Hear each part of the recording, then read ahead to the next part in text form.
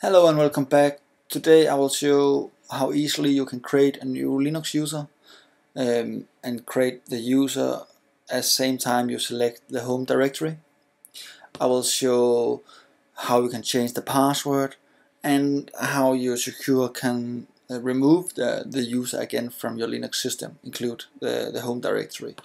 So first we need to create a, a test user. So sudo user add minus d2 directory and I want uh, the test user directory inside the home folder and minus m and our username is test user.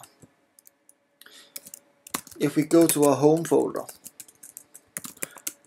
you can see we now have a test user and my uh, user folder uh, Paris and a test user.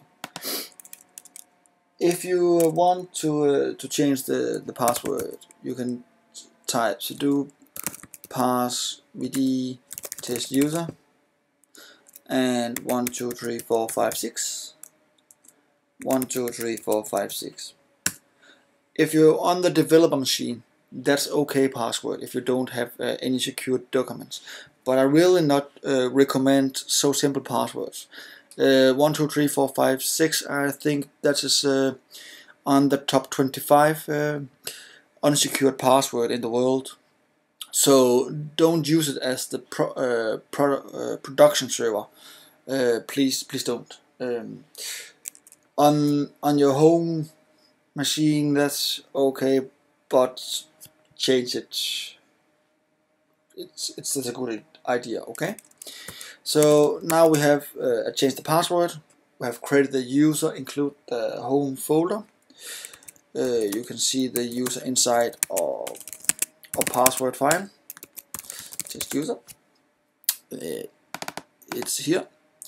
So if you uh, if you want to uh, to remove this uh, this user you can remove uh, this line but I really don't recommend to change this this line I sometimes do it because um, I change the home folder uh, that way. It's uh, it's easy when you are developer something and test it, but do not uh, use this file in production. Uh, just don't.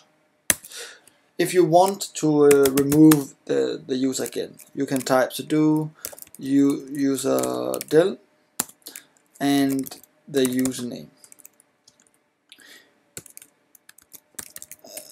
As you can see, the the test user is down here. It's gone. But in Linux we don't uh, want to remove uh, the, the files the user have uh, when we remove the user. That is a good thing because sometimes we only need to remove the access for, for the single uh, for the single user and the user maybe in your work uh, workspace do not uh, work anymore for you or your boss. So you need to remove the user from the system but all the files it's good to have. But for now we want to, to remove uh, this folder.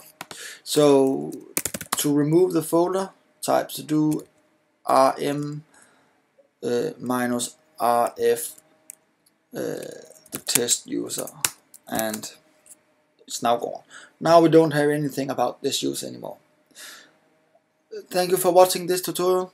If you have any question, you can uh, type it in the comment below. I'm hoping you, you like this uh, video below. You are welcome to subscribe my channel and hoping we see you next time.